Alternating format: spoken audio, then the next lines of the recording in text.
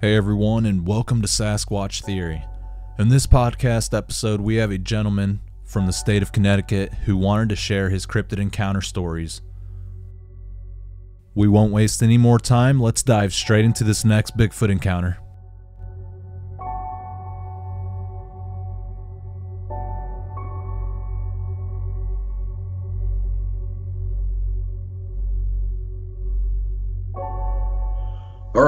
My name is Greg, and uh, a little bit about myself. Um, I'm an avid outdoorsman.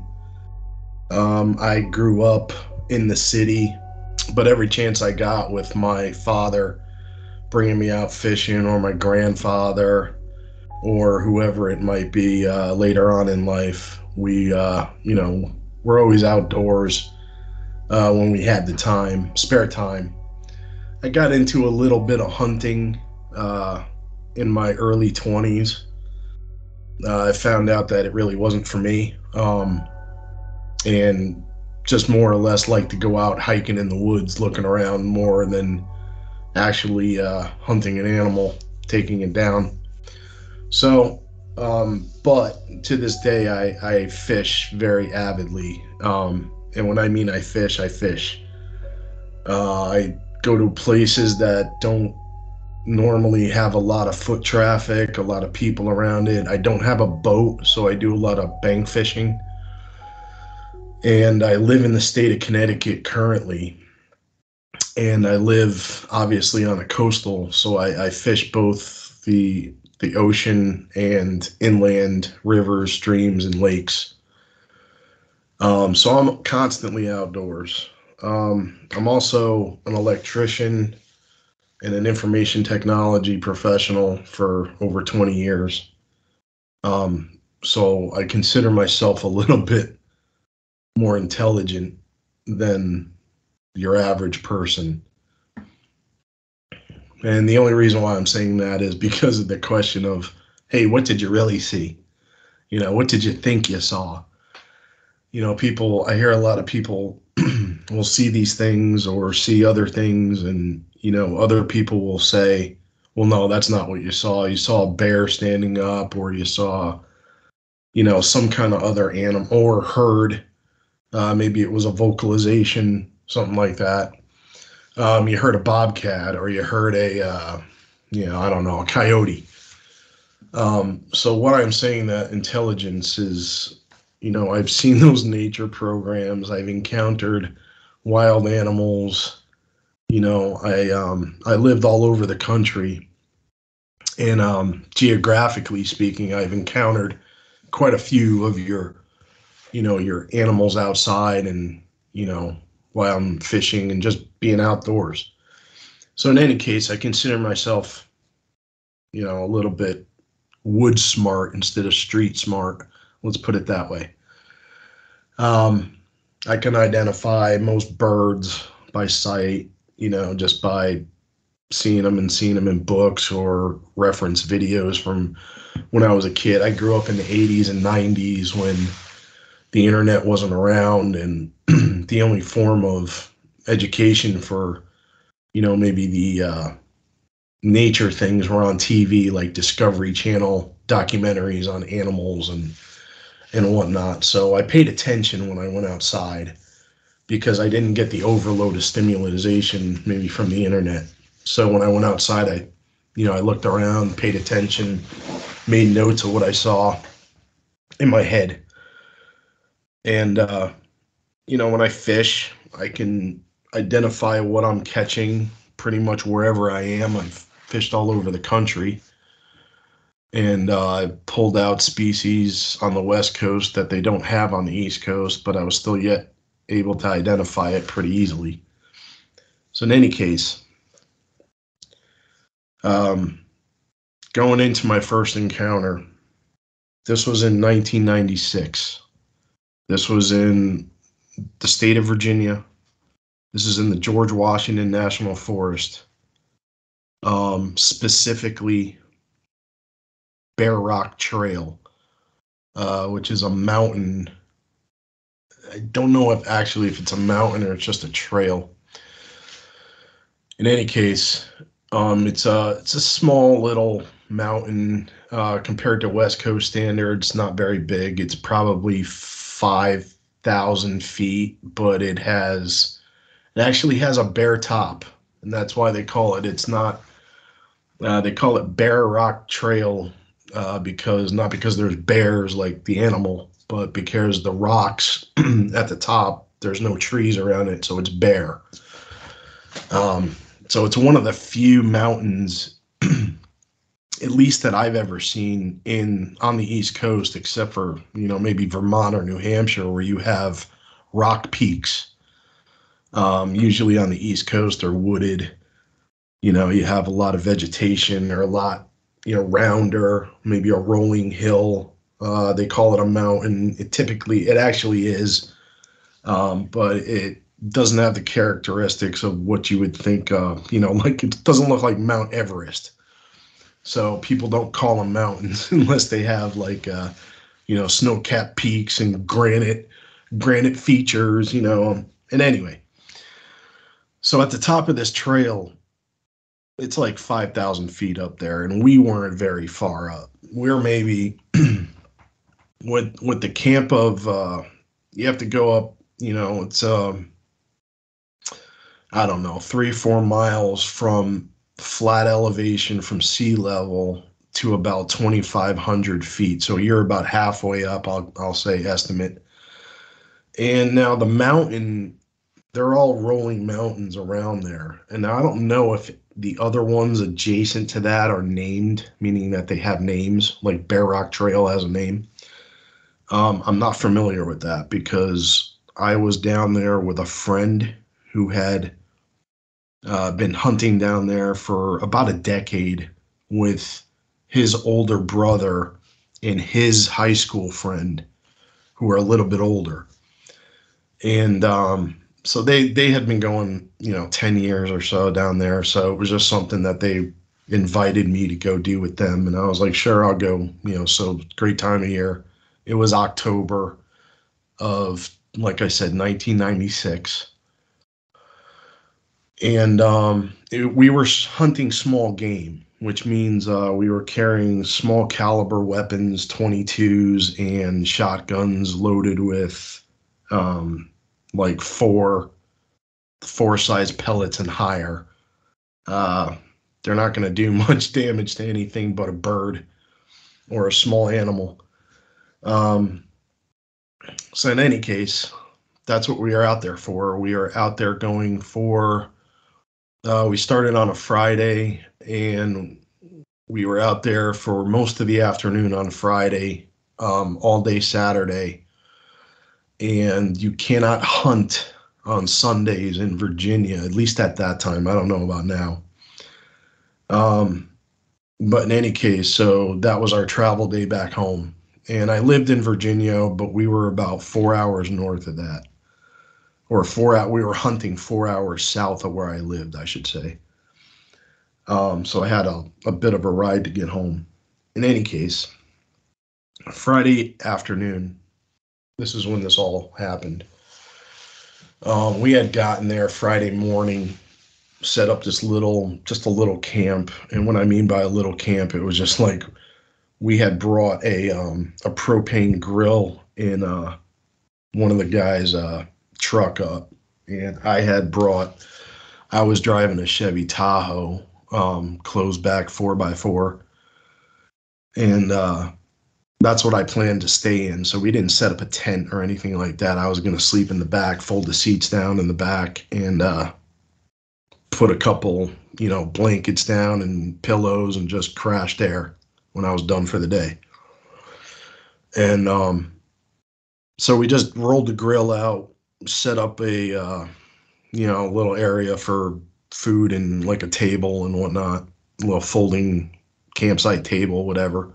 Put some stuff on, and uh, there was two cars. There was well two trucks. There was a pickup truck, Shane's pickup truck, and there was Shane, Kevin, myself, and another guy. But the other guy went and did his own thing. Um, he wasn't really with us. He went down the he went down the opposite road or went down the road the opposite way than the way we went. So I just won't include him just to say he was there. Um, so there was two trucks, one a pickup and my four by four, and uh, we just threw a grill out. And the plan was to, you know, just start hunting that day because we only had a day and a half to do the whole thing. And uh, Sunday was going to be, you know, pack up and go, like I said. So anyway, it wasn't.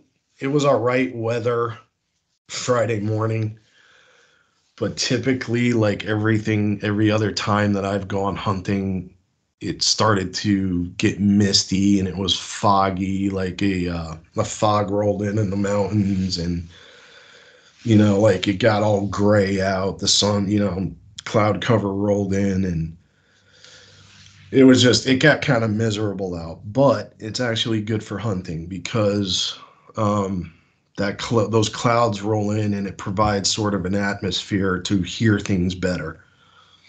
And if it hasn't rained yet, you still get the crunchy leaves on the ground because it was autumn in Virginia. Like I said, it was late October. And uh, you know, it's actually a good it's a good predicament to be in, you know, if it doesn't rain. If it rains and everything's wet, then you won't hear a thing. And you'll hear raindrops constantly, which isn't good. So, in any case, um, we headed out in the afternoon. It's October, so you still have, I don't know, about six thirty, maybe seven o'clock. It's light out.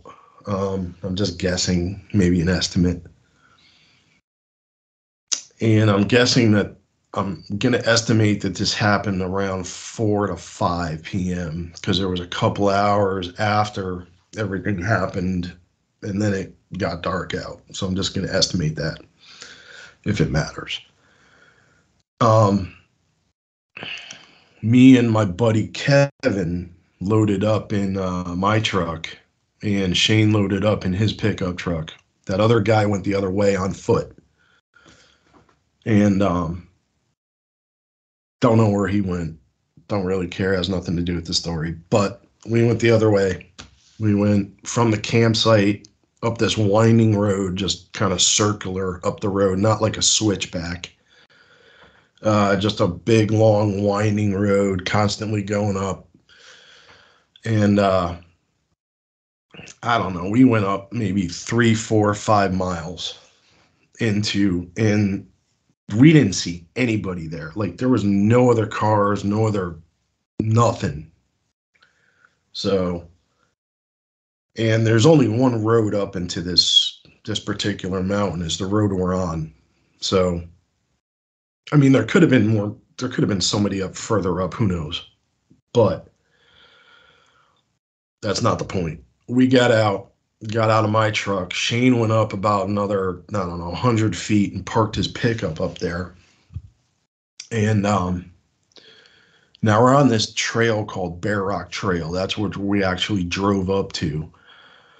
And uh, we get out of his we get out of the cars the trucks and shane said he goes i'm going to show you guys where a good area he goes i specifically remember him saying that there was a grove of hardwoods that had like we're hunting squirrels specifically know maybe a grouse or if a uh, some kind of wood fowl comes around we give it a shot but in any case we're out there for squirrel I really don't care about squirrel, but my buddy Kevin and this guy Shane and his buddy were going for him. So I'm like, great. I'll, you know, hunt some squirrels today with you guys. In any case, um, so he tells us, let's go up into this. I'll show you up and I'll show you up this trail about half mile up this this mountain here, and uh, show you where this grove is, where you guys can kind of hang out and you know, this is your best bet to spot any squirrel up here. And then he said, I'm to come back down after I show you where it is. To get my truck and I'm going to go around about another mile up further on, let's say, up this road to another little grove that he had, you know, had planned out. And um, he was going to hunt that area alone and um, he was hunting with a shotgun, a uh, a 12 gauge. Um, actually, no, I'm sorry. He was hunting with a 20 gauge shotgun, and uh, which gives him a little wider shot, a little less accuracy involved. Um, we were hunting with 22s, and we had scopes on them, not very, you know, not very powerful, just like a three by nine scope, but um, specifically when you're hunting squirrels with 22s, you have to you have to pretty much take a headshot because if you hit them anywhere else in the body, you're pretty much going to ruin anything that you're going to take for meat. So it's a it's an art in itself, and uh, it's actually pretty hard to do to do right. Um, you know, if you're going to hunt an animal, you don't want to just blindly blast it. You want to take it properly so that you can harvest the meat and do the right thing, do the whole purpose that you're out there, right? So anyway, um, we're walking up this trail and it's just kind of rocky, and I guess that's why they call it rocks. Um, Bear Rock Trail. There was a rock slide, I guess, over the years, and smaller rocks had come down from the top. And what I mean that is most of the other area was covered with, you know, ground litter, leaves, branches, fallen trees, brushes, a lot of brush, a lot of like mountain laurel, um, like low brush, real tight stuff that you can't walk through. Um, brambles, stuff with thorns on them. I mean, literally, you can't walk through it. Like, there's no paths, no nothing. So this this rock trail was kind of weird in the whole area because it was the only place where nothing was growing and there was actually rocks that you can kind of walk up to where we were going to go up to this grove of trees, these hardwoods.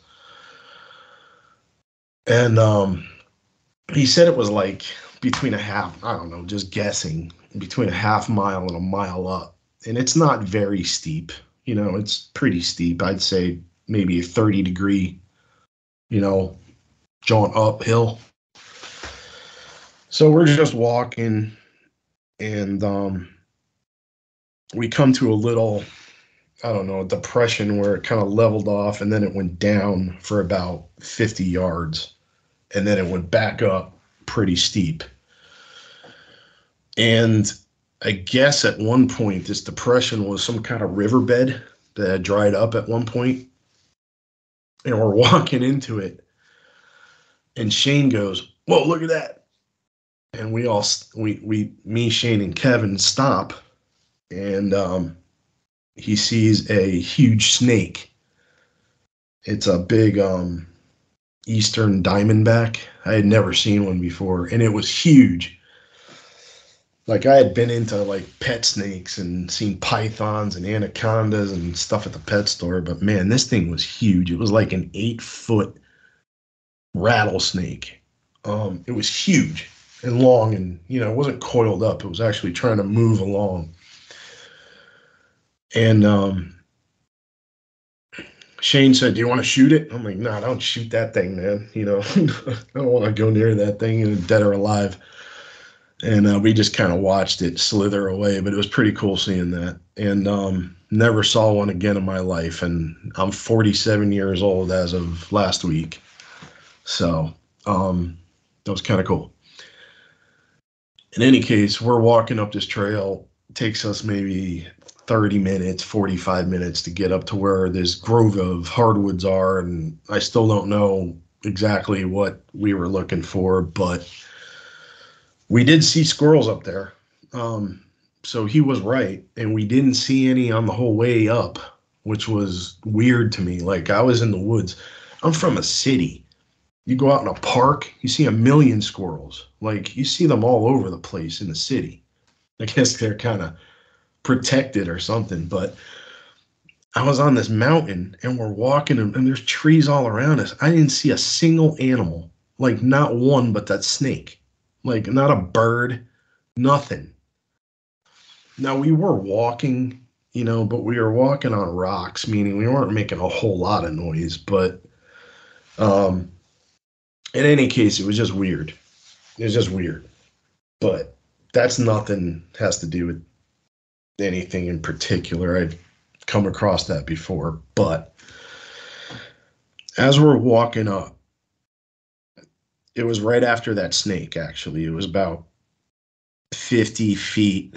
We started going up that other incline that I had said there was like a flat part, and then it went up pretty steep. And once we got about 10, 10 20 feet up that, um, we all we just stopped because one of us was tired of that short little you know increase in incline. And i don't remember who it was but we were standing there taking a rest and we weren't saying anything. We were just looking around.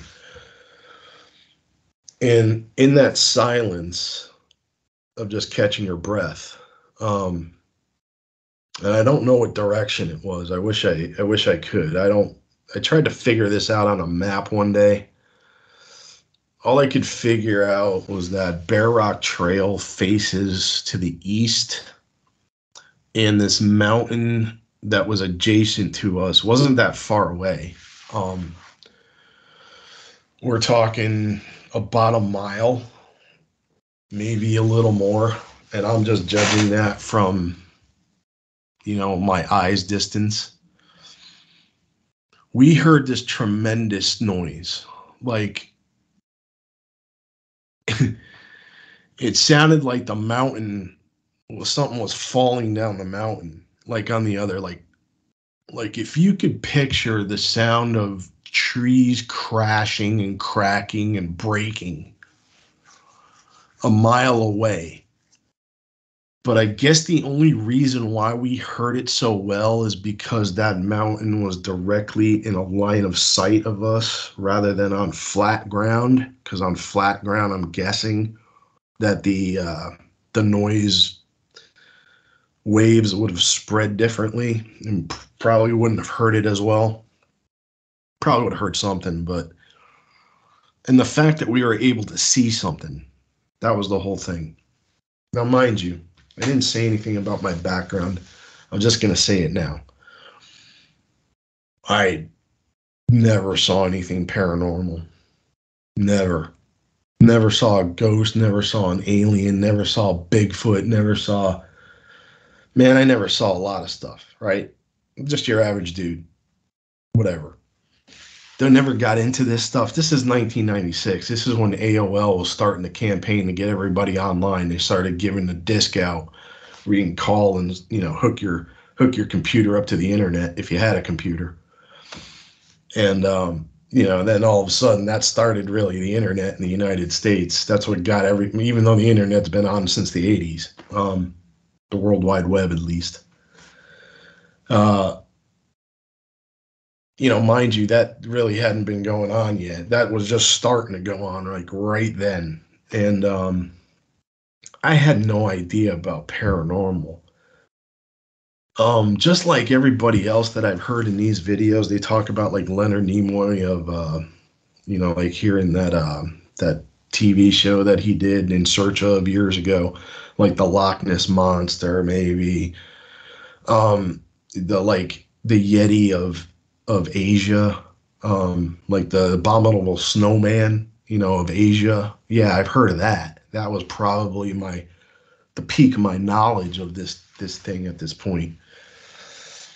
So let me just say that.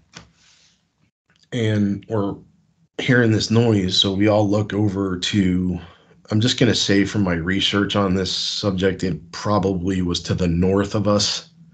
And it was an adjacent mountain hillside about a mile, mile and a half away. And since it was October, most of the trees still had leaves on them, just they were colored. Some of the other ones didn't have leaves on them, and because I guess they had already lost their leaves maybe a couple weeks before. And uh, specifically, we saw, at least I saw, all I could say is what I did see.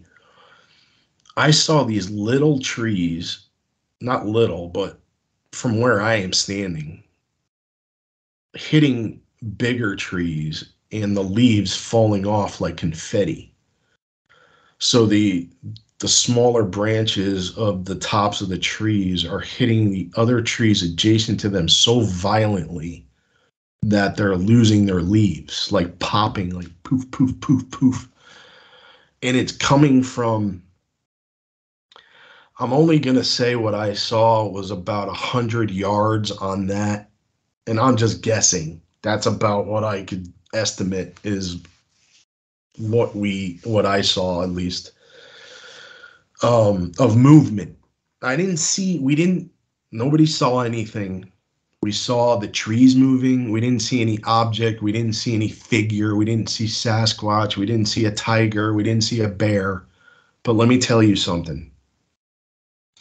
Shane turned to us, and Shane Shane is um, about five six years older than us, and we were 22, 23 at the time. So let me say he was early 30s.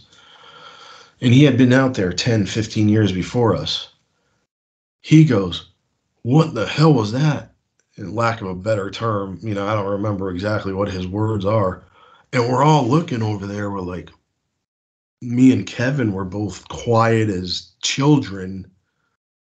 You know, we're just like, what is going on? We're like, we're in the woods. What is that? Like that's really loud. Like and and we're watching it.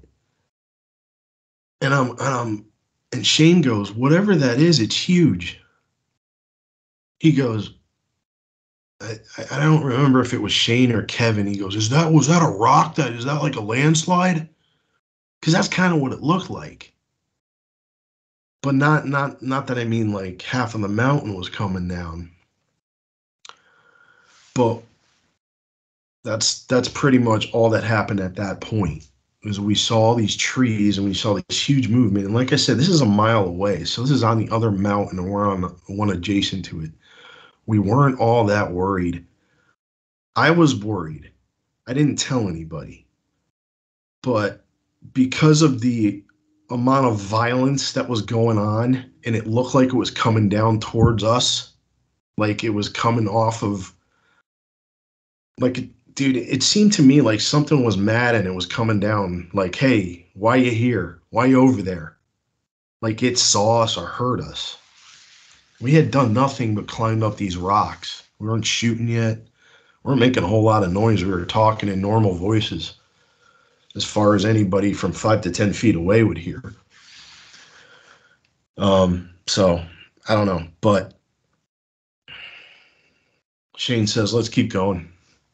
It kind of stopped or it got further away and down down below our line of sight of vision maybe to the base where the valley between the two mountains was. That's what i'm thinking.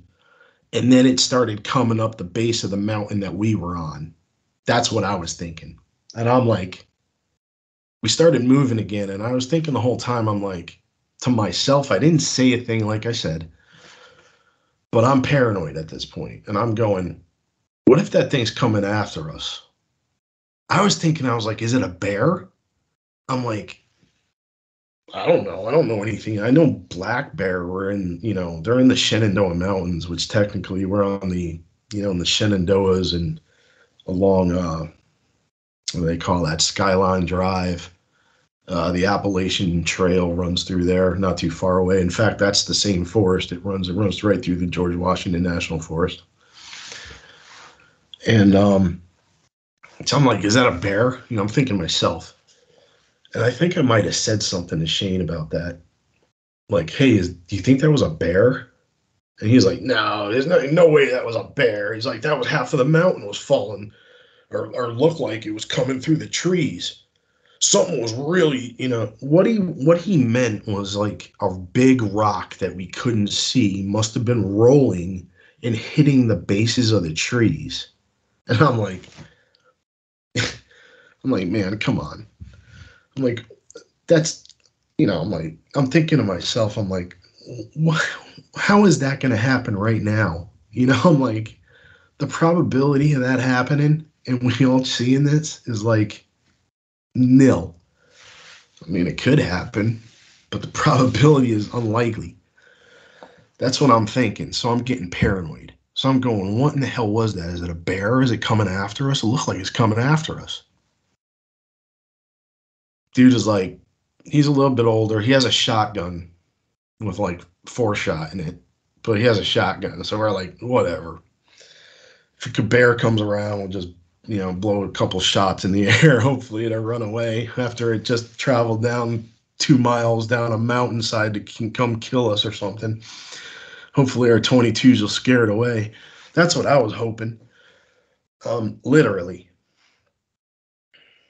And uh, listen, man, I grew up outside of New York City, like a half hour outside of New York City. I'm from a rough area. I'm not scared of much. And at that time, even I wasn't scared of much. I've been encountered some some pretty vile human beings in, you know, way of doing things. So wasn't really worried about that. worried about a bear or something. You know, I'm like, whatever. So keep going. We go up about another 15, 20 minutes walking time. And then all of a sudden, we hear what you would call a wood knock in more or less terms. But when I mean a wood knock, it was like it was like somebody taking their thumb and popping it in the inside of their cheek and it was like that percussive pop like really loud like really loud. We're three dudes in the forest. It was so loud. It was like i'm not going to say it was deafening but it was like it was like somebody snapping their fingers right next to your ears. That's how loud it was about that.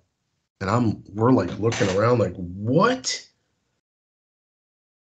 And I think Kevin even dropped to his like in a squatting position, kind of like a soldier would, you know, kind of, you know, if, if they had come across, I don't know, some kind of, you know, danger or whatever. Um, he wasn't in the military, never was. I don't, but we're hunting squirrel, mind you. We had a 22. Why would he do that? He must have felt something too. I never asked him about it. I don't have much contact with him this day, but um, I knew him well at the time. He never said anything about it, like what had scared him. But that popping noise sure put a fright in him. And we all stopped and we were all looking around and we were all looking around with wide eyes. Cause as I'm looking around, I'm looking at the other dudes, see what they're doing. And they're all looking around and we're all like, something's going to happen like right now. It was almost like a warning shot was fired. Um, nothing did.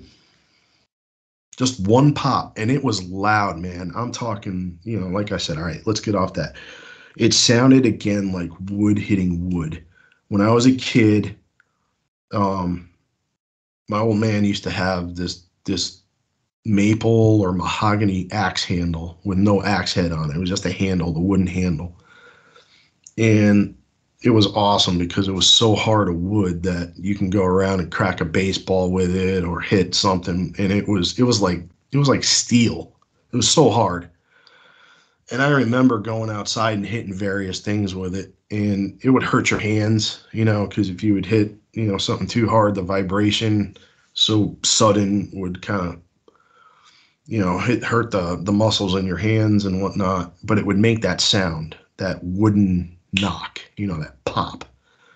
And this was perfect out there. This was like, yeah, I can't do it with my mouth or vocals, but you know what I'm talking about. And it, I can't judge how far it was, how far away it was. It sounded like it was right next to our heads. Um, we didn't see anything, nothing else, just one, not two, not three, just one. We all heard it. it wasn't like, you know, you think you heard something and you're like, hey guys, you hear that? They all stopped. They both stopped. And me. And we're like, what was that? Loud. Anyway, he goes, all right, guys. He goes, you're here, whatever. He goes, I got to get to where I'm going to go. And then we all, I remember, had watches, wrist watches, and we set like a timer. I don't remember what the time was, but he said, you know, I'll mark your time when that time hits, start heading down. He goes, because, you know, if you don't, you're going to get stuck out here at, at in dark, you know, and you don't want to do that. So I'm, I'm still thinking about this noise we heard like 20 minutes ago. He apparently doesn't care. So, and Kevin didn't say anything else about the, you know, the noise he took took the knee from. Whatever. I take a uh, I take a seat on a on a fallen tree, and I I was smoking at the time, smoking cigarettes, and uh, I knew you you know you probably wouldn't you shouldn't smoke when you're hunting because you know you give away your position. It doesn't smell natural. It totally is a sign of a human being around. In any case, um, the reason why I'm saying it is because if any natural animal was around, it probably wouldn't like the smell of a cigarette. But I was freaked out because of that noise we had sir, heard and that sight we had seen half hour before. And Kevin had walked up this hill a little further, or this mountain, and I was kind of alone, didn't see anybody in eyesight. So I was like, yeah, nobody's around. I'm going to smoke this cigarette and uh, just kind of chill out here for a little bit and see if uh, any squirrels present themselves as targets. I really didn't feel like hunting after that, and um, I was I was pretty nervous, man. Thinking back at it now, I had like I felt like something was watching me the whole time, and because I was with other people, I was able to brush it off, you know, strength in numbers type of thing but as soon as my buddy Kevin went out of uh, eyesight and I was alone, I got pretty freaking nervous. I'll tell you that much. And like I said, I'm not normally like that. I'm in the woods. There's nothing around that's going to hurt me. Right? Why should I be nervous? I got a gun too. It's not a big gun, but it's a gun. And I'm nervous. I don't know why. All right. So, smoked a cigarette. I'm sitting there and I'm like, you probably shouldn't just sit on this this tree and just sit here. You probably just try to do something. You're out here to hunt. Try to go hunt something. You know, m- move around this area here, this grove that Shane was talking about. See if you can find anything. See if you can keep Kevin within uh, eyesight, so you're not shooting in his direction and uh, we had a little rule going on. The only time you discharge your weapon is is up towards a target, usually up in the trees. So we're not going to discharge it at an angle that you can possibly hit somebody directly. Um, so I didn't really have to worry about not seeing him, and we were wearing um, uh, the the blaze orange, as you have to by law. Mm-hmm we had gone up there and uh, he had gone out of eyesight. I'm sitting around looking for a, a, a decent place to hunt, and it had started to rain. Uh, a little bit of rain started sprinkling down, and everything started getting really slippery. And uh, not long after, I'm talking within a half hour, 45 minutes of we actually getting to the point to where we were hunting and after the point where he heard that wood knock. Um, and then all of a sudden, I was like, you know what? I'm gonna move. I'm gonna I'm gonna jump the timer. I'm gonna head back down to where we were going because it's raining, and I'm gonna have to go a little slower because uh, it's more slippery. Um, you know, I'm gonna have to take my time. So I'm gonna head down now. So I start going down, and I'm going down these rocks. And I was nervous the whole time because I felt like somebody was watching me. But my buddy Kevin was nearby and I didn't see him, but I thought maybe he had seen me, but maybe I didn't see him. And he was the one watching me. So I kind of shrugged it off. So I started moving. And I was moving at a, a decent speed. I was going downhill at this time. So it was just a matter of, you know, just doing it and um, I get down about 100, 200 yards down this trail, and uh, I get this over. Now, I had passed that point where we saw the rattlesnake, and I was going down another angle to where Kevin wouldn't have seen me because he's probably still up there. He's, you know, he's not watching me. And I still feel that. and I didn't see anything, I didn't hear anything, but I started moving faster because I got I got scared uh, something was following me. And all of a sudden I slipped on something, twisted my knee, and dislocated it actually, hyperextended it. I tore my ACL and whatnot, but it didn't wasn't apparent until, you know, I had adrenaline running through me at the point but I got lost. And like I was saying, I just had to go down. It was more or less straight down, and I had to follow some rocks. That was it. And it was an easy path because, like I said, everything else around me was different. Now, all of a sudden, I'm off into the side and I'm going down through brush and brambles because I injured my leg and now I'm panicking because I think I'm lost and I'm like, I don't recognize any of this stuff. And I'm in brambles now. I'm not on rocks anymore. And I'm looking around for these rocks. And I'm like moving to the left and to the right. And the whole time I feel like something is watching me from somewhere that my friends were not, meaning the other angle. Didn't see anything. In any case, um, get down the mountain. I had to crawl on my my stomach, like belly crawl, like hands, like uh, you know, like spider crawl or whatever they crawl call it, uh, under these brambles just to get through them because I literally they were catching my clothes and I couldn't get through them, so I had to go under them and it was ridiculous. And the whole time i'm feeling like something was watching me like something was like something's watching me flail around. Something's watching me like an injured animal like a predator. And i'm like this doesn't feel good man you know? And i just wanted to get down to my where my truck was parked on that road and just chill down there. I didn't care what the hell went on for the rest of the day. I didn't care just wanted to get down to that truck, wait for Kevin to take his sweet ass time to get back down to there, and we were going to go back to Villa Camp. That was it. And it took me twice as long to get down as it did up, meaning that I couldn't figure it out. I couldn't figure out where where I was, and it wasn't hard to do. It was disorientating and I hurt myself and I was totally off because when I ended up hitting that road, I thought about it. I'm like, that road goes all around the mountain. All I have to do is go straight down. I'll bound to hit it. And then all I have to do is figure out whether or not I'm going up or down. And I'll figure out where my truck is from there. And um, that's what I did. But when I hit the road, I was like 300 yards to the south of where my truck was. So part of the road that we had come up and I start walking up and I get to my truck finally.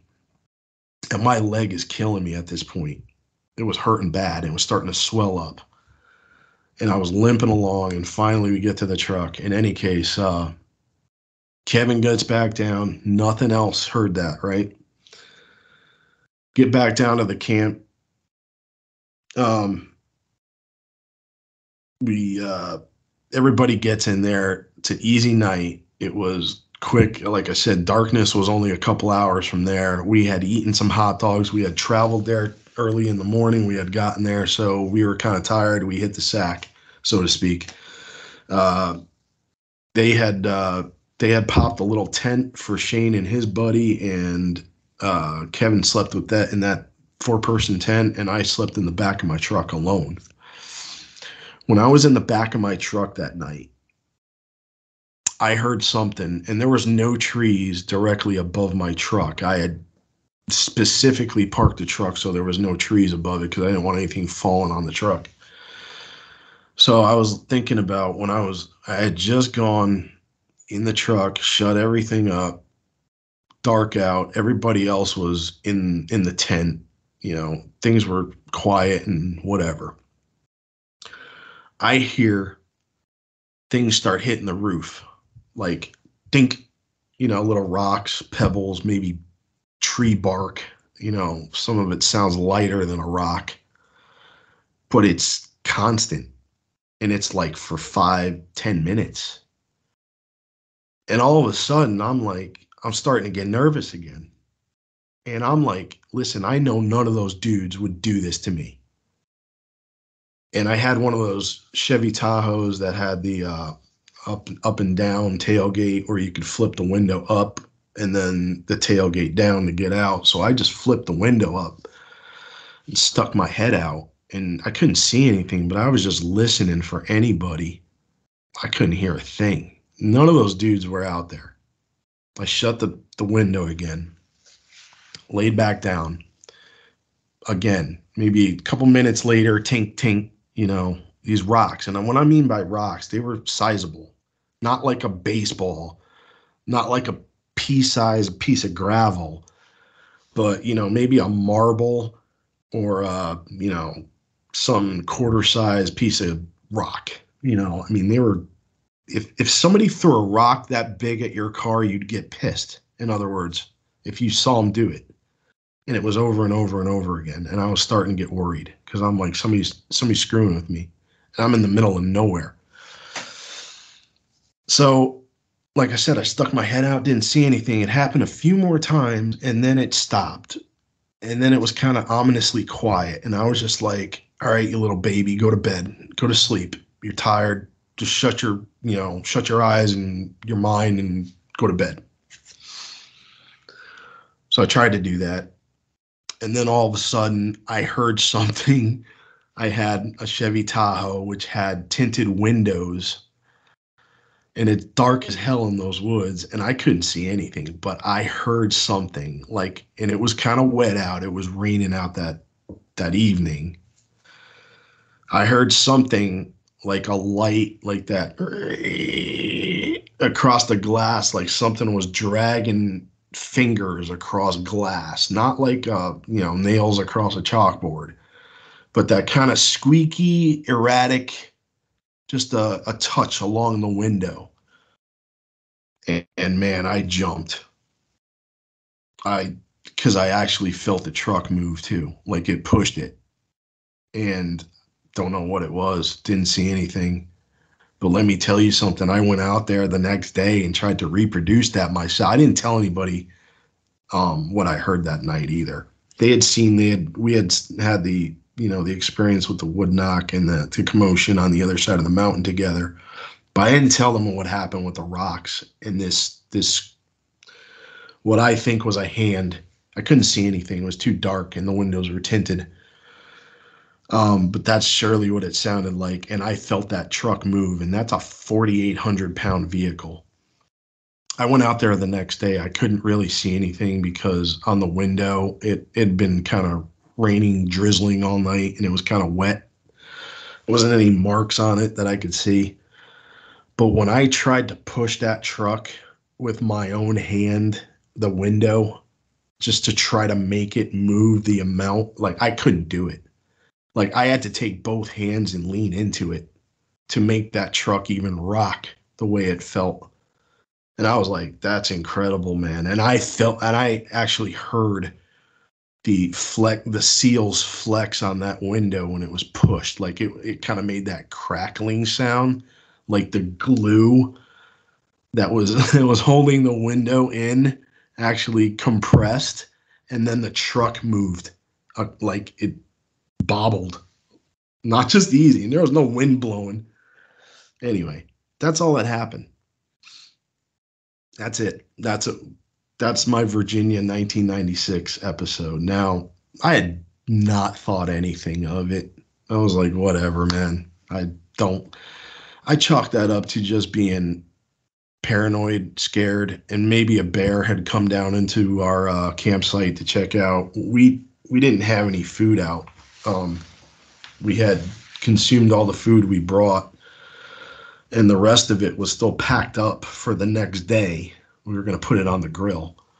So there wasn't any like food around. So I was like, that wasn't a bear. Why the hell would a bear be throwing rocks at my truck?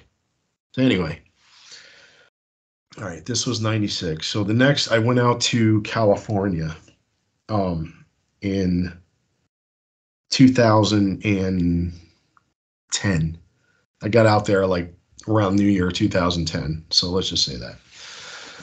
And um, I lived in the Sierra Nevada mountains, Calaveras County specifically. And uh, Calaveras County is a very sparsely populated county. Um, It's about 45 minutes north of Yosemite National Park. Um, and where I where I lived in particular was along Route Four um, in Arnold, California, which is a, a, pretty popular area. There's a ski resort um, up in that area, and uh, a lot of people go up there and you know vacation in the winter. Um, I don't know anything about, didn't know anything about Sasquatch before I got up there. Um, anything like that. Didn't care. Like I said, the the experience that I had in Virginia, I thought it was a bear at the very worst. Maybe stuff hitting, I don't know, hail at night, stuff hitting my truck. But in any case, um, when I got out there, we had I had I had a friend out there who invited me to you know come and stay out with him when I was looking for a new place to live and uh, looking for greener pastures, let's say. And uh, so I took the opportunity to go out there, and I had kind of inherited his friends. So we had gone out to a, uh, I believe it's a either a state park or a national park. It's called Alpine Lake. It's up in California off of Route Four. It's in Alpine County, and this was this was on the 3rd of July. It was the day before the 4th of July, obviously.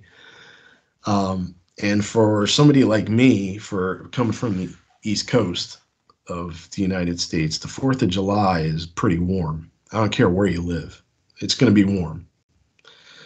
Um, we had gone there, and it's, I don't know the elevation specifically. That was probably around six to 7,000, maybe 8,000 feet. And um, there was still snow in the parking lot on July 3rd of like when they had plowed during the spring and plowed it into the corners of the parking lot. Like it had not melted yet. And I was amazed at that. I'm like, this is incredible. I'm like, that's just crazy. Um, just being this, you know, into July and there's still remnants of snow around. And uh, we were going to go swimming. That water was like 40 degrees. So we didn't go swimming. So the only other thing that we could do was me, two males, two other guys, and and one of them's girlfriend. So it was four people total. Um, the only thing that we could do was kind of hang out, eat the food that we bought, brought, and um, go hiking, and uh, just kind of enjoy the day. And um, so we decided to go hiking first, maybe build up an appetite, and uh, we walked up the hill, and there was there wasn't a trail. Um, there was just you know just areas where you can go up and up into the mountains. Um, and this is like granite. This is like David Paulides from Missing 411 talks about the granite fields of the of the Sierra Nevadas. Um, I hear about it now, and I'm like, man, I'm like, if I knew about that then. And um, yeah, I got these big granite boulders that are like four, you know, some are small, some are huge, some are like eight, ten feet tall and like that wide. Um, and they're just sitting there, and you could walk around them. People, you know, take pictures of climbing them and whatnot, and um, it's cool. Whatever. Big trees, man, big big trees. Squirrels like the size of cats, like red squirrels that are 10 pound squirrels, like eight, 10 pound squirrels. They're huge because they don't really hibernate in the winter. They eat year round. They're like goldfish. They just get huge. And um, so I'm kind of amazed I never saw this stuff. I'm from the East Coast, and I just got there a couple, you know, a couple weeks be- before, and they're like, "Yeah, let's go up to the mountains, have you know, picnic or whatever, go swimming." So I'm like, "Yeah, that sounds great." So we go hiking. You know, I'm doing this thing, going up this, going through these boulders and looking at all these huge trees. I mean, like I have never seen the trees that big, never. And these aren't even the big ones. And um, uh, they were like, all right, we're going to turn around and go the other way. And I'm like, I still want to go up there. Because, uh, like, I was looking at, like, uh, kind of like a rock feature that looked like it was flat and you can go up there and see off the other side. So I was like, I kind of want to go up there. And they're like, all right, well, we're going to head down this way. You go up there and, you know, have fun, whatever. So I was like, great. So again, I smoked cigarettes and um, they took off. And I'm sitting on one of these boulders, these granite boulders that's, you know, waist height. And I'm sitting down just normal, like chair height on it. And I'm looking around and I'm, I'm like, I'm enjoying the hell out of it. I'm smoking a cigarette and I'm like, I'm thinking, I specifically remember thinking that I'm like, man, I came all the way out to uh, from the East Coast to California, and I get to, you know, hang out in a, a really cool, you know, part of nature like this in the Sierra Nevada mountains, and I'm really getting to see, you know, what the West Coast is like. I'm sitting there thinking about it. I'm like, man, I made it so far. And all of a sudden, I look to my right and I'm starting. Uh, I also have to think. I'm like, man, I felt bad. I'm like, I don't think you're supposed to smoke in national parks or state parks in California. I think that's illegal because of forest fires. So I'm like, uh, I should probably put this out. And I'm like, I should probably put it out very carefully too. So I'm like, I'm like dying my cigarette out. I'm like kicking dirt over it. I'm like stepping on the dirt. I'm like standing on the dirt to make sure it's out. I'm like scuffing it around. I'm, you know, I don't want to be like the cause of a forest fire out there, you know. So anyway, I start looking and I'm kind of laughing because I look to my right and there's one of these big red squirrels just sitting there and he's like 10 feet away. He's just sitting there. He's like on his hind legs. He's looking at me like those squirrels, you know, like just on their hind legs eating a nut, but he wasn't eating anything. He was just looking at me. And his tail was kind of twitching and he was kind of looking nervous. And I'm like, the hell's his problem? I'm like, why is he so close to me? But then I'm thinking, I'm like, he probably never saw a human before. And then all of a sudden, I see some movement behind him, and another one comes up, another red squirrel, and kind of, you know, kind of runs by him. And when when that one ran by him, he started running too. And then I'm watching these two, and then in it's like it's like a prophet like a procession of animals. I'm like, what the hell is going on here? I look up and there's a mule deer, like like a you know like a like we have white-tailed deer on the east coast. This was a black-tailed deer. They're like twice the size. They're like the size of a small horse, like a like the size of a mule, with horns. This one didn't have um, antlers. I think it was a female, or maybe it wasn't the right time of year. I don't know but it was big. And it was just kind of looking at me. And it was, I don't know, 50 feet away. And the squirrels took off, and my line of sight leads me up to this this deer. And I'm like, what the hell is going on? Why is there a deer looking at me? Why are there just I'm thinking this. Why are there two squirrels looking at me? And now there's a deer right up there looking at me. And don't know, 50 more feet right up. And now I'm looking into the sunlight and it's like it's cresting the top of this hill that I can see beyond.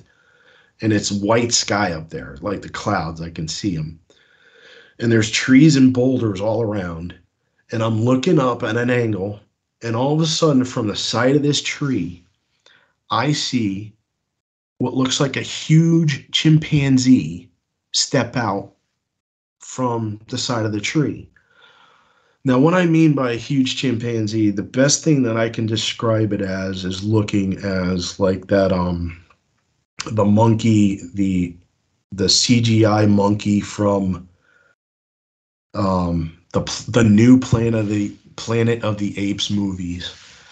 I forget his name, but he's like Mark Wahlberg's counterpart in the movie or something like that. And it looked exactly it well its body features look like that but big big big.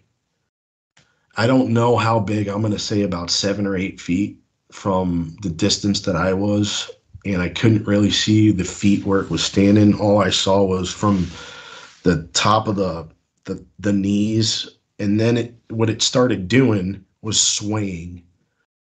And it would sway like and it would creep it creeped me the hell out, man. And that's what really got me. Oh, right before that happened, I stood up. When the deer was standing there, and I said, What in the hell is this deer standing there looking at me for? I stood up because I started getting nervous, thinking that the deer was going to come over at me. And it was a big deer. I've never seen one of these deers before. I didn't know why it was looking at me or if it was going to come over and kick me in the head or, or, you know, I was, I don't know. Anyway, I stood up. And when I stood up, I saw this figure come from the side of the tree. And right before this figure came out, that deer took off and it took off to the left and I didn't pay attention. I just saw it in my peripheral vision just disappear to the left. But I'm looking at this figure now, and it was just a line. It was like a succession of just amazement. One squirrel, two squirrel, mule deer, monkey. And I'm like, what the hell is that? All right. So it looked like this, you know, it looked like a humanoid. It had, you could see the hair on it. It was draped, you know, coming down, and it wasn't like fur, it was hair. And what I mean by hair is you can see the light coming from the sky behind it through the hair, meaning it was like the outline was fuzzy, like it was kind of silhouetted and fuzz, and that's what I mean. It was a reddish brown. And this thing would sway, kind of go like uh like you see, like I have a cat and you see videos online of people playing with their cats and they'll play like peekaboo with it. Well, they'll go behind like a door frame and the cat will be on the other side of the room or something. And they'll they'll put their head behind the door frame and then peek out and then go behind the door frame and peek out. And little by little the cat will get closer and closer because the I guess the cat can't and can't stand the anticipation or something like that. That's what this thing was doing. And it scared the hell out of me I just started. I said, I said, I think I said whoa or yo, something like that, just to let it know, like, hey, don't come down here. Don't mess with me. I'm out of here. I think that was my intention, but that's all I could say. And I started hauling ass down that hill. That's all that happened. That's it. Didn't see anything. Didn't come after me.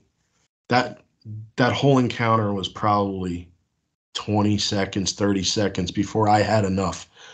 I could have stayed there longer and probably had something else happen, but I didn't want to. That scared the hell out of me. So I was done. I didn't see any definite features. I didn't see any eyes. I didn't see any teeth. I didn't see any, you know, gender or anything like that. But I'll tell you, it was human. Well, not human, but it had, it was standing on two feet it had a torso. It had two arms, two legs, and a head like we do. I didn't see a neck. That was the other thing. Like I said, it was like kind of like just a just a little stump on on shoulders. That was it. Wasn't huge in in the fact that it was like huge muscular, big tree trunk legs. I didn't see much of the legs, but it didn't look like it was massive because I saw the one side of its arm and the arm came down like its wrist was way below its uh its waistline and the arm was just hanging there at one point the arm touched the tree when it was swaying in and out and it was kind of like looking at you know looking at me and kind of like i guess deciding whether or not it wanted to come fully out or wanted to come at me or wanted to go the other way. I don't know what it was doing, but I did not feel good. And that's all that happened. Went back down to where these guys were. I didn't tell them. Um, I was again pretty nervous, but strength in numbers. I was with people. The car was right nearby. The parking lot was nearby. The food, there was a picnic table down there. The food was there. We had music playing things were back to humanity. I wasn't really wasn't really too worried about it, but I was still looking up there. I remember the whole time thinking, the whole time, I'm like, if something comes down this hill, I'm out of here. I'm like, I don't care about them. I'm leaving. I'm like, if they're if they run faster than me and get in the car before I do, that's great. If they don't, I'm out of here. That's literally what I was thinking. So anyway, nothing happens. This is on Saturday. Next day, we go out. I'm going to mention some names only because it helps me keep track of it through my mind. Uh, Jesse, that's my roommate who I was living with in California. Um, his friend who lived down the road, his name was Noah. his girlfriend, Justina. Um, we're all just these are the same people we went to the lake with. We were just kind of hanging out that weekend, and uh, they're like, "This is Sunday now," and they all said, "Hey, let's go get some food at the store." And um, this is the Fourth of July now. I'm thinking it's the Fourth of July. I'm not exactly sure. Now that I'm thinking about it, I'm like, you know what? You said it's you know 2010. I'm not exactly sure if the Fourth of July fell on a Sunday, but I remember these days being right next to each other. So I think that's why I consider it a Saturday and Sunday. It could be a Monday and Tuesday. I don't remember. Um, I wasn't working at the time, so days really didn't matter. Weekends weren't important. Um, I had just gotten out there, so I hadn't gotten a job yet. In any case, um, the next day we go get some food, and we were going to cook it on the grill at the house. And we had the grill in the driveway, um, just for safety's sake. If anything caught fire or anything like that, it wasn't going to burn the house down. Um, and we wheeled the the the the uh, the grill like halfway down the driveway, and we they had like a hundred foot driveway. So I mean, it was significant distance away from the house. You know, fifty feet away from the house. But we were just sitting out there. We weren't drinking, weren't smoking marijuana, doing any of that funny stuff. We were just eating food and having fun. And um, no music at the time, and it was just us four. And uh, the next day after this encounter, keep that in mind. Uh, night falls. We're the driveways in front of the house. There's we have a direct line of sight to the porch, and nobody's in the house. And there's two dogs in the back. There's two pit bulls, and they are very active pit bulls, meaning that if anybody comes anywhere near the yard, they go crazy. And there's a street adjacent to this in the front yard. So it's on a corner. So there's two streets at a right angle. And the dogs are right there in that right angle, you know, just chilling there. Um, if there's any kind of people around or any they see anything out of place, even if cars go by sometimes they just start barking. And uh, they're out there. They're in the back. They're they're quiet. You know, there's nothing going on. We're eating, we're cooking out there. And it just got dark. And well, now we're like we're eating at this point, and I think Noah looks up at the sky first, and he goes, "Hey, look at that!" And I look up, and I'm like, "Yeah, what is that?" And now it's a clear night with a little bit of clouds up in the sky, so you see like you know a partly cloudy sky out, and there's somewhat of a moon out. Let's say it's like halfway lit. Um, let's say half moon, and the sky is pretty well lit and we're watching this light and i'm like that's not a plane because like you know my my background is knowing that most planes have three lights on them. They have a red a green and a white light. The white light can be turned on and off but the red and the green cannot unless they're military and have certain rights within certain airspace. They can shut those red and greens off.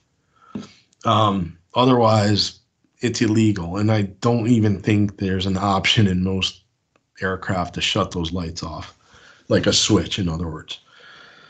And um, so I'm looking at this light, and all of a sudden, in the corner of my eye, I see another one going another way. And I'm like, what the hell is that? There's another one.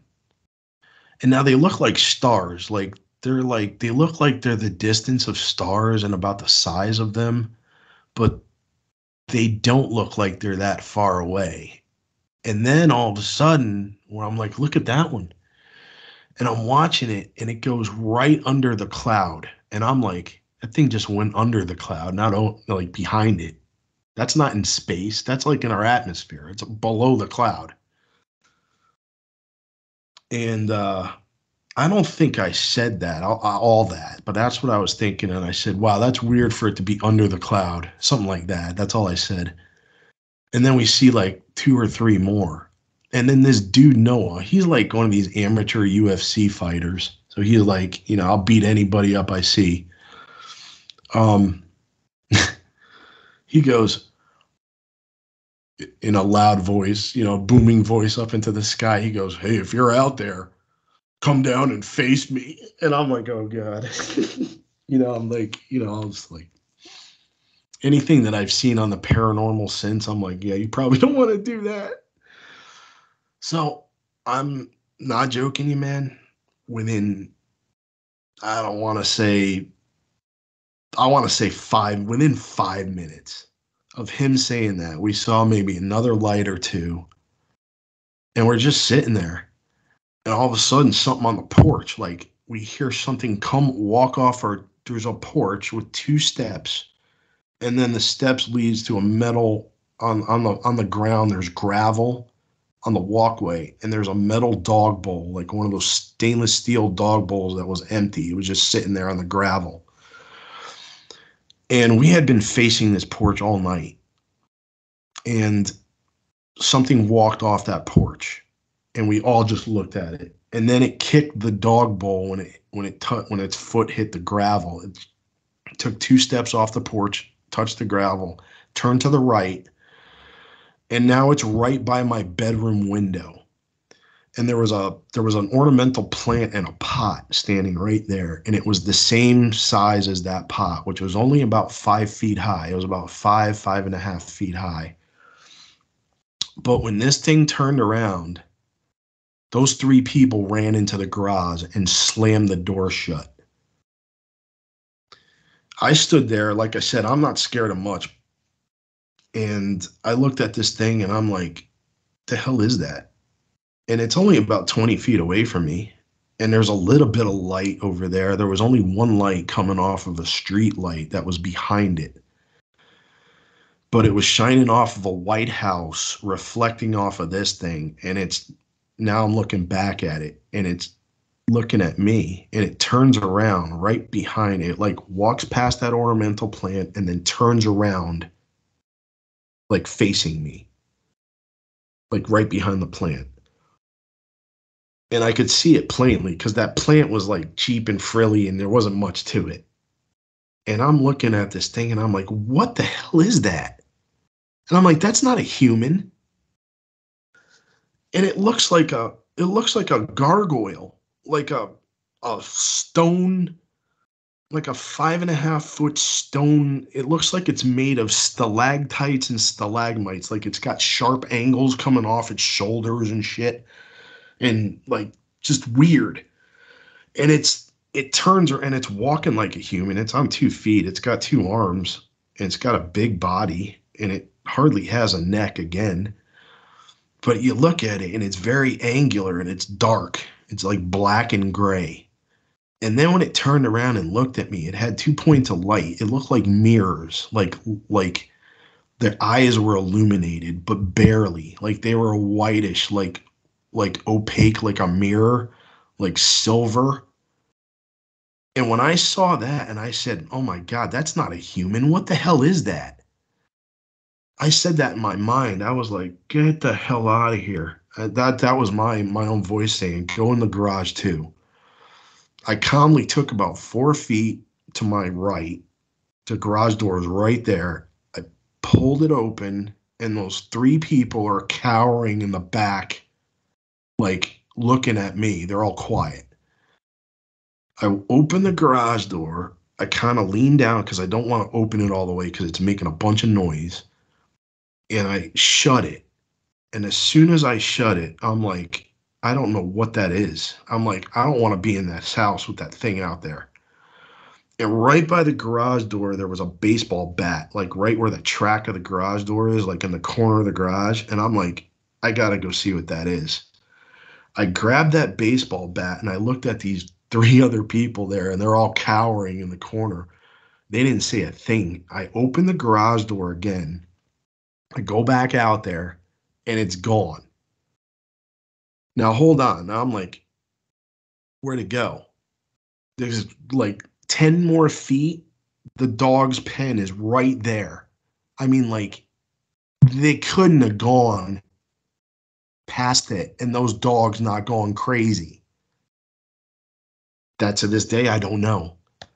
It disappeared. And I'm talking like in 10 seconds, maybe not even 10 seconds. I don't know how long it took me to shut that door, grab the bat, open the door back again, and go back out there. Maybe 10, 15 seconds at the most. It was gone. Dogs, quiet. Dogs are still alive. I'm like, are the dogs dead? I'm like, what happened to them? I'm like, what? This is ridiculous. So right for right now, that's all that happens. These three people are like panicking. They're like, "What? What? What was that?" I'm like, "I have no idea what that was." I'm like, "I, I don't know what that was." I'm like, "I don't, I don't know. I don't know." I'm like, "Did that just happen?" They're like, "Yes." I'm like, "What the hell was it?" And I'm, I'm like telling them what I saw. They're like, "Oh my god!" And I'm I'm looking at Noah. I'm like, you asked it to come down, man. And he goes, I didn't think it would. And I'm like, all right, whatever. I'm like, I'm done tonight. I'm like, I'm going to bed. I'm like, I'm out of here. I'm like, I don't even want to sleep in that room. That thing was standing right by the window. I'm like, I'm like, I don't, I don't, want, I don't want to sleep in there, but I'm gonna, and I want to go in there now because I don't want to hang out anymore. And Jesse, Noah, and Justina um, he's like Jesse goes, I'm gonna bro- I'm gonna walk them home down to the end of the street, and we lived in pretty much the middle of nowhere. It's in the Sierra Nevadas in Arnold, California, and their house is about three quarters of a mile down from where we lived, and they're like the closest neighbor. Walk, he walks down there. I'm like, I'm not going down there. I'm not leaving this house. I'm like, I'm here. Done. Have a great night. I'm like, whatever he goes down there, comes back, and then tells me about this horror story that they had. Apparently, gets down there. They both have a pit bull in their yard. It's a female pit bull named Luna. When they get into the yard, the dog's there, not doing a thing, right? Now they get to the gate and they have to walk by a one single tree. And then their house is like the other way. So they're like actually walking towards the street and they enter the the yard in the back of the the yard and then walk to the back of the house is how they get in their house. So dog's fine. This is what this is what Jesse's telling me when he gets home 20 minutes later. He's like, dog's fine. They go past the tree. They have one of those motion sensors that senses movement and the light and the house comes on once they get like about halfway to the house where the tree is. The light comes on.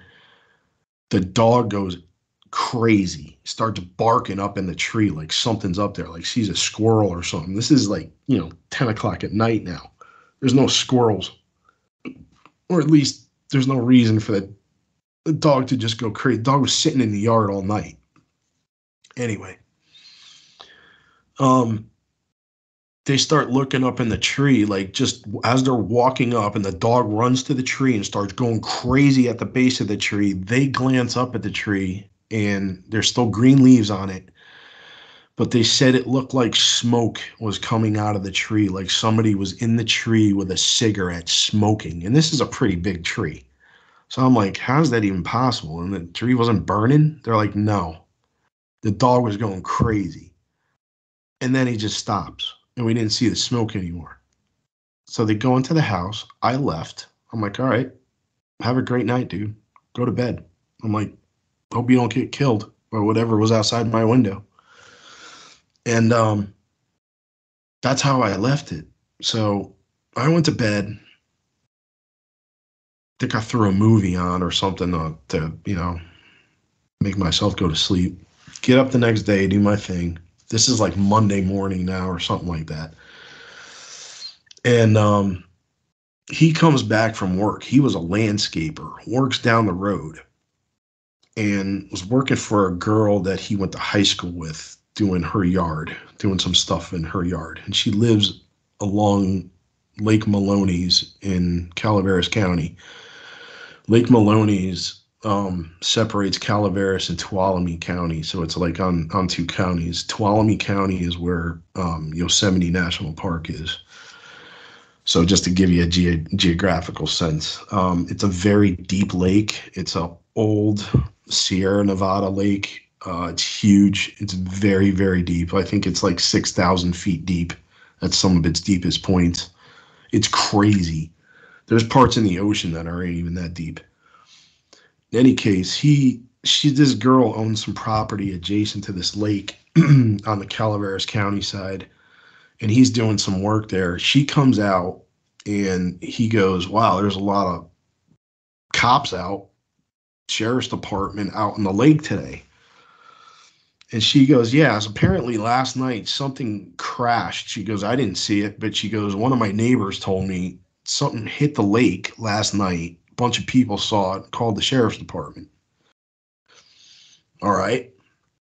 Sheriffs had the dive team out there, and they weren't going to find anything in that lake. The lake was too deep. And we I looked on the paper after he told me this. I didn't see anything reported from Calaveras County about any incidents and for them to be spending money doing that. So I don't know if what that was going on. But it was pretty unlikely that they would be out there just doing training um, like that. And it didn't look like they were doing any kind of training. Um, it looked like they were doing something very specific, he said. I didn't see it myself, but he comes home and tells me all this. Now, all three of these events happen within three days. I don't know. Go figure. That's all that happened with that. Um, that technically is not a Sasquatch encounter, but I wanted to talk about that with the moving light thing. And then the day before, I had a Sasquatch encounter. It was kind of weird. All right. So you got three more minutes for my last one. Yeah. Yeah, that's fine. All right, man. This happened two years, three years ago, uh, summer of 2020. I live in Connecticut now. I'm on the East Coast. Oh, let me go back to one thing in California. The year before I left there, it was like 2012.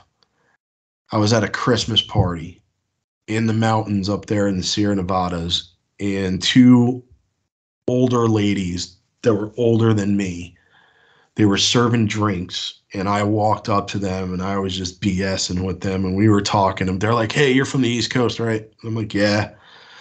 blah blah blah. They're like, oh yeah, you guys do this, that, and other things different than us. And I'm like, okay. I'm like, didn't know that. And I'm like, she's like, so how do you like it out here? I'm like, yeah, it's not bad. I don't know what made me think of that Sasquatch or you know that monkey I saw behind a tree. She goes, oh, you know what? What do you like that's different out here? I was like, oh. I was like, what do you guys know about Bigfoot? Literally said it like that and it's like an you know like like an elephant and just moved in the room like they both looked at me and were like there was wasn't a look of surprise on their face it was a look of oh what do you want to know and i said and she and i remember this woman carol she goes oh we don't joke around like you guys do on the east coast about that and I, st- I started kind of giggling. I was like, kind of break the the tense the tenseness in the air. I was kind of like, oh yeah.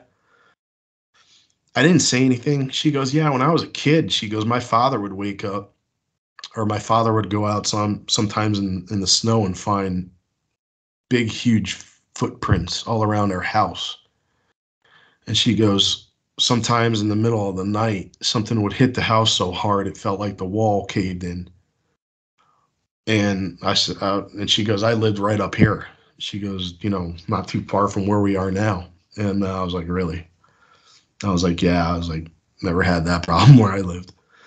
Um, and then she had told me, she goes, I don't know if she said it. Uh, yeah, I think she did say it right then and there. She goes, the Mokelumne Indians, um, which are the local indigenous tribe to that area.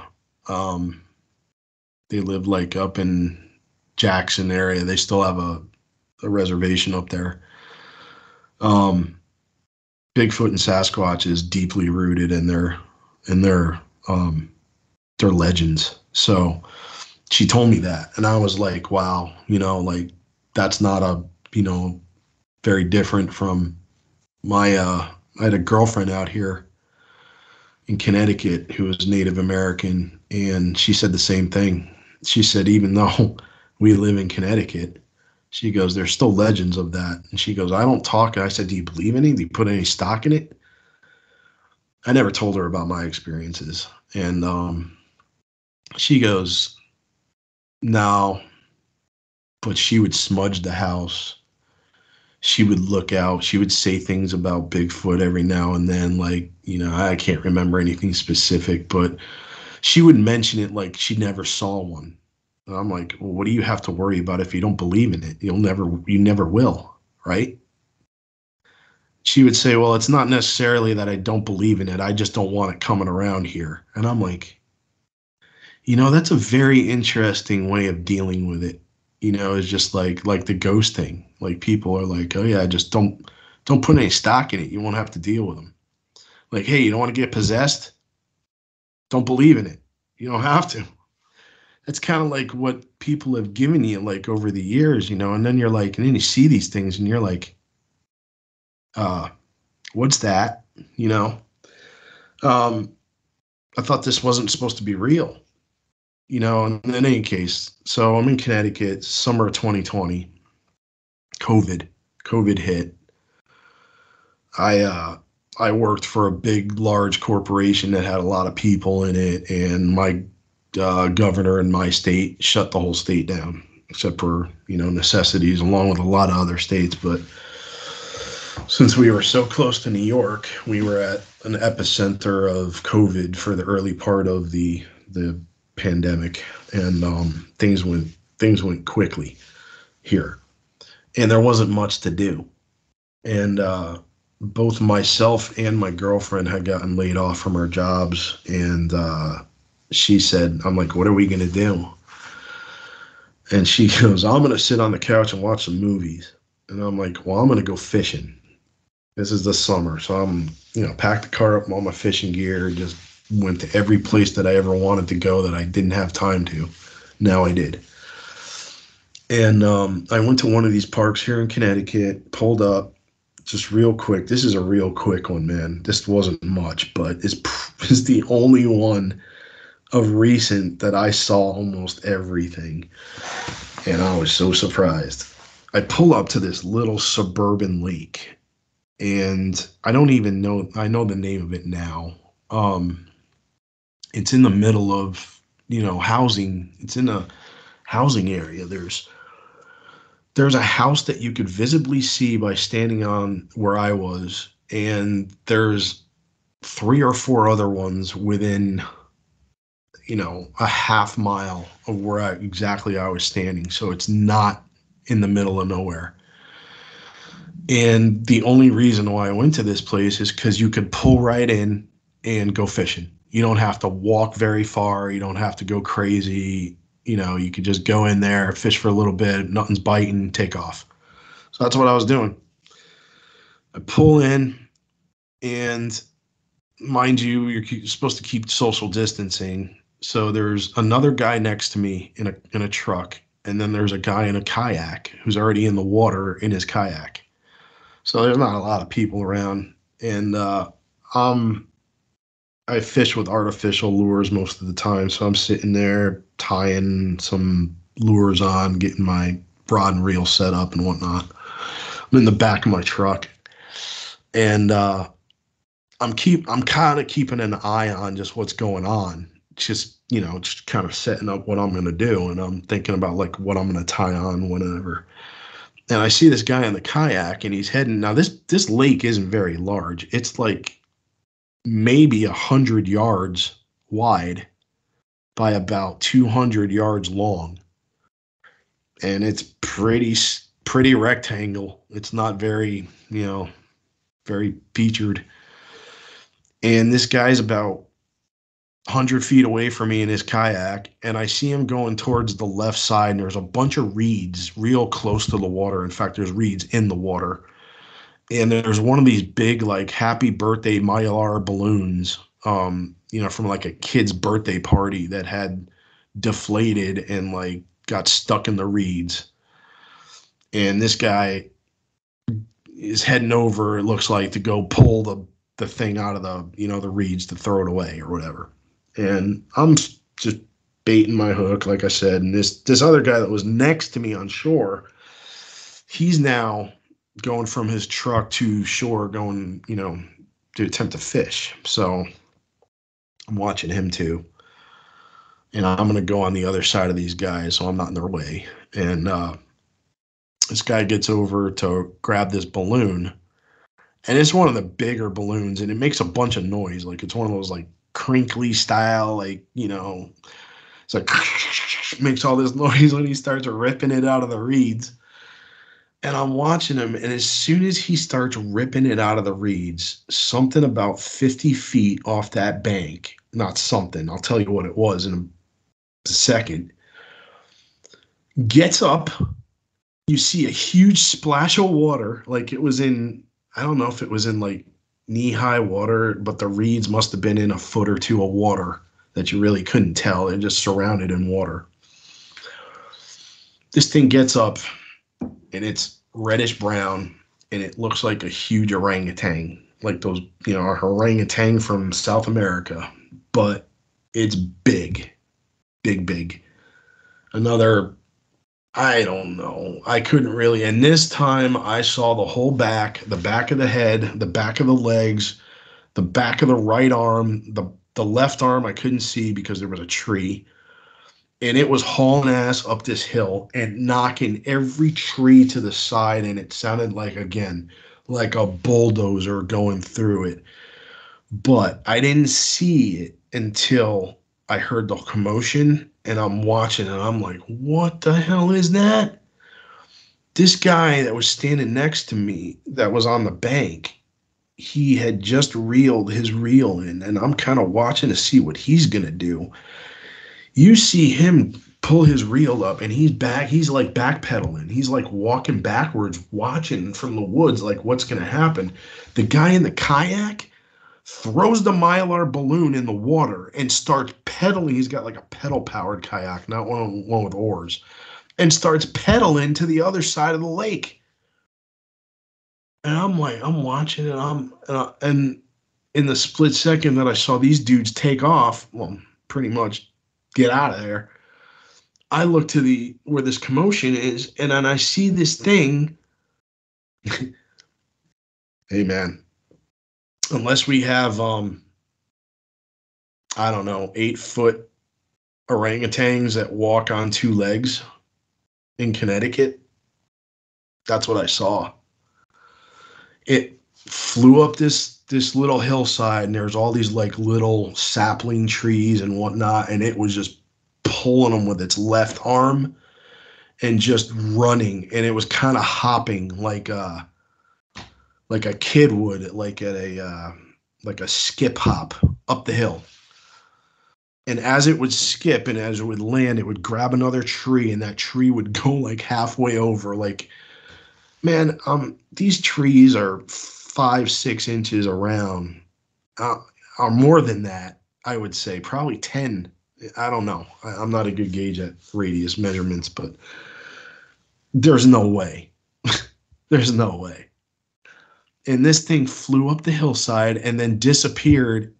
And then these two guys, the one guy in the kayak, just kept going to the back of the lake like nothing happened. He was watching this thing the whole time because I'm watching them. I'm like, what are they going to do? Are they going to say anything? Are they going to do anything? Like, what the hell's going on here? And I turned to the guy that was on the bank and I was like, Did you see that? And he goes, Yeah. And I go, Are you staying here? And he goes, Yeah, I'm going to stay here for a little bit. I'm like, I'm not. I'm like, What was that? He goes, I don't know, man. He goes, He goes, I don't know. And he was just shaking his head and like, like, hey, I'm fishing. I don't know what that was. I'm fishing. I'm like, you got to be kidding me. This is Connecticut, bro. I'm like, I never, dude, I never, Miguel, I never thought about this. Never, I never had a paranormal experience. I had, I had another one like after like the initial ones, like these Bigfoot sightings, like I had a little bit of a paranormal experience, but that's it. And now that I look back at this stuff, I'm like, I saw Bigfoot. I'm like, I can't cash up the first and second time, but it sure, you know, I thought about that and I'm like, that's probably what it was. All these experiences that I've heard on your channel and other channels and this and that, I'm, I kind of put the dots together, you know, two and two kind of does equal four if you look at it. That's the only thing that I can come up with, you know, in my explanation, especially this last time in 2020 when I saw an orangutan running up a hill. It's amazing. You know, I'm like, what is that? I was scared, dude. Like, I still to this day talk about people like, I have a fear of going out, like, just even, just like, I saw this in, in, a suburban lake. You know, and it's like, how could this be possible? You know, you could see this anywhere then. And then, not that's another experience, but I had met a kid, a younger, he was younger than me. I'll just, that's the reason why I called him a kid. He's probably in his 20s while I was fishing. And, um, yeah, I just want to say one more thing um, before we end. You know, there's there's a lot of people out there that you know will chalk up things to, hey, if I don't see it, I don't believe it.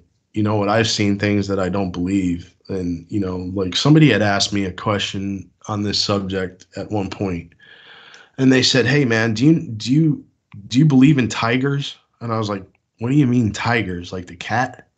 He said, "Yeah." And I said, "Yeah, I believe in tigers." And he goes, "Why?" I go, "What do you mean why?" He goes, "Because they they're they they're real." And he goes, "Why aren't Bigfoot?" I said, "Well, because you know not a lot of people see him. You know, I'm I'm stretching for this, and I'm like, I don't know, a lot, a lot of people see him. They're not on a species record. You know, nothing. No, no. He goes.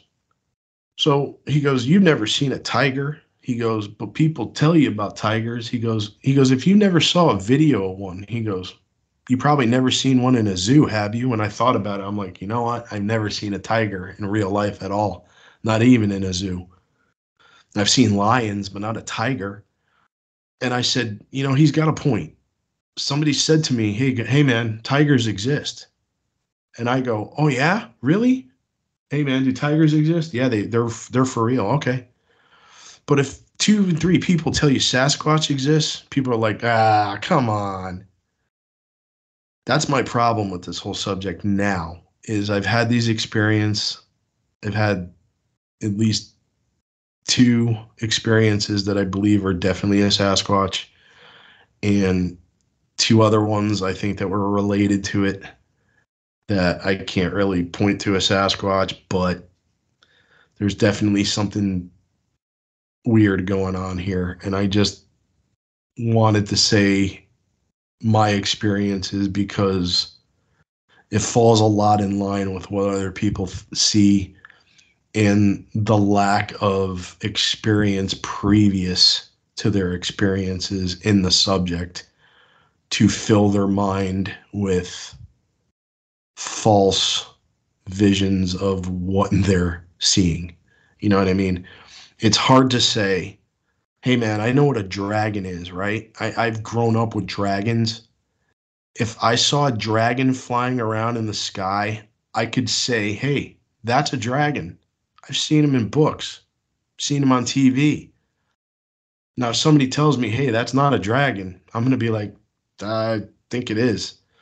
That's what I'm trying to get at. You know what I mean? It's like there's a lot of people out there that report these things, and then other people will come and say, that's not what you saw. You know, and it's like, uh, I'm pretty sure that's what they saw is is what they saw. You know, it's like they're competent enough to sit here and tell you the story about it. It's probably what they saw. You know, and it it just kind of boggles my mind that you know, unlike me, I've never had, never was into the subject, never thought about it, but yet have had at least two experiences that directly relate to it, maybe maybe four. Um, and it's it's pretty amazing, and it's all across the country. And like I thought, even hearing about this stuff years ago, just want to say it, I thought it was a West Coast thing and until recently, you know, about the popularity on YouTube and about hearing other people's stories, and then you start learning that it's not just on the West Coast. in fact, it probably is more popular in other parts of the United States and the world than you would think. And it's just got pushed back. And the other thing I just want to say real quick is I've been all over this country. There's a lot more uninhabited space than there is habited. And who are we to be so um you know, so intelligent to say that these things definitely don't exist, especially for a race who who didn't believe in a giant squid in the 90s and now all of a sudden they're all over the place. I mean you know you, you can watch videos of them you know it's like it's ridiculous. And we found we discovered like i think it's i'm not too sure but i'm pretty sure check me on facts but the gorilla the big black mountain gorilla was discovered like in the 1860s that's a very long time for such a very big animal to sit around and not be on the record I'm just saying. Follow me? I appreciate Greg for sharing his encounters here on Sasquatch Theory, and we ran out of time, unfortunately, but if we ever get the chance, you can come back on the channel and share the rest of your encounters and experiences if you would like to do that. I also appreciate everybody who took the time to listen to the video. I hope you guys all got something out of it, and I really appreciate everyone for listening. If you enjoy listening to Bigfoot encounters, please like and subscribe. And if you would like to share a Bigfoot encounter of your own, please contact me at SasquatchTheory at Outlook.com. Alright, guys, I appreciate everyone for watching. Take care, and I'll catch you guys on the next one.